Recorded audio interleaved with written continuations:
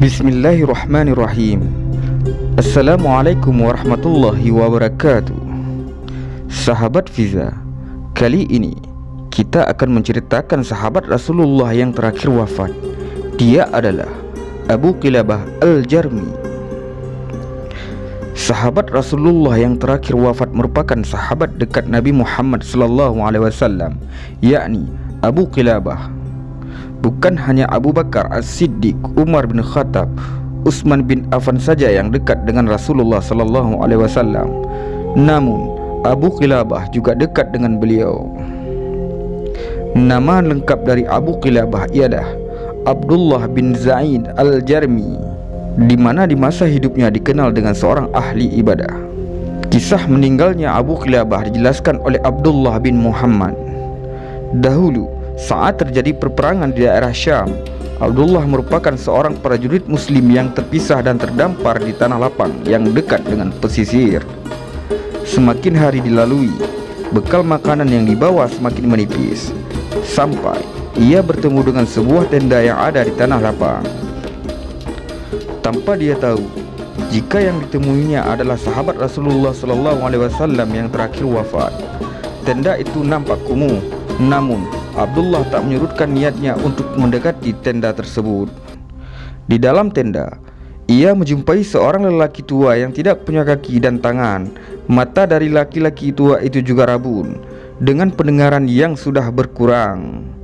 Hanya lidah yang bisa berbicara dengan lancar. Di sana, Abdullah bertanya pada lelaki itu mengenai nikmat mana yang bisa ia syukuri dengan keadaannya seperti ini.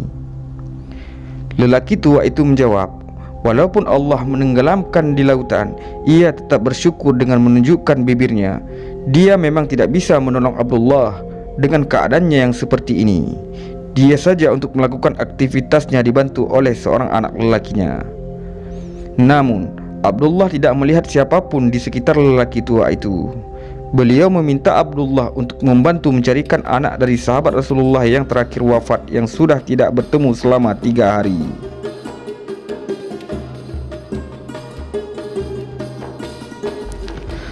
Mendengar hal tersebut, Abdullah segera mencari anak dari lelaki tua dan menemukannya jika sudah tidak bernyawa lagi karena diterkam binatang buas. Dengan perasaan kebingungan, Abdullah menyampaikan jika anak lelakinya telah tiada. Selang beberapa saat, laki-laki tua juga menghembuskan nafas terakhirnya. Kisah wafatnya Abu Qilabah Abdullah yang melihat jasad dari lelaki tua ini tak tega untuk meninggalkannya di tengah padang pasir. Belum lagi jika ada binatang buas yang bisa saja memakannya. Kemudian, Abdullah menutupi jasad sahabat Rasulullah yang terakhir wafat dengan kain yang ia temukan di dalam tenda. Seketika itu, Abdullah keluar dan mencari bantuan. Di luar, ia melihat ada segerombolan orang yang melintas. Kemudian ia melambaikan tangannya untuk memanggil mereka. Dari rombongan itu, Salah seorangnya nampak lebih rapi. Orang-orang tersebut menyadari panggilan dari Abdullah dan menghampirinya.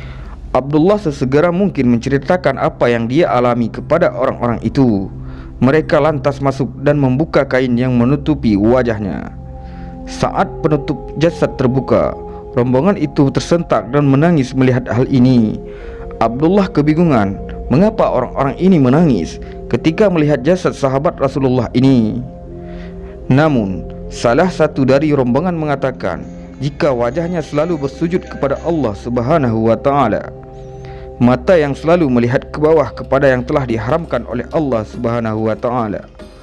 Tubuhnya juga selalu bersujud tak kala orang-orang lain sedang terlelap dan tertidur. Mendengar perkataan seperti ini, Abdullah bertanya mengenai siapa yang baru meninggal ini. Mereka lantas menjawab, "Apa Abdullah tidak mengenalnya?" Jelas Abdullah tidak mengenal lelaki tua ini. Kemudian Abdullah meminta dari mereka untuk menjelaskan kepadanya. Beliau pernah diminta untuk menjadi seorang hakim untuk khalifah. Namun permintaan itu ditolaknya dan memilih untuk menyendiri di tengah padang pasir yang tandus. Dari mereka pun menjawab Jika jasad ini adalah Abu Qilabah Al-Jarami yang merupakan sahabat Rasulullah yang terakhir wafat Abu Qilabah memilih pergi dengan membawa anak lelakinya. Mendengar penjelasan dari rombongan itu, Abdullah paham dan mengerti akan siapa yang baru meninggal ini. Sampai di sini, Abdullah pun memahami jika yang meninggal ini adalah Abu Qilabah yang merupakan sahabat Rasulullah yang tidak mau terlibat dengan penguasa pada masa itu. Beliau sahabat Rasulullah yang terakhir wafat memilih menyingkir bersama anak lelakinya untuk menghindari kekuasaan.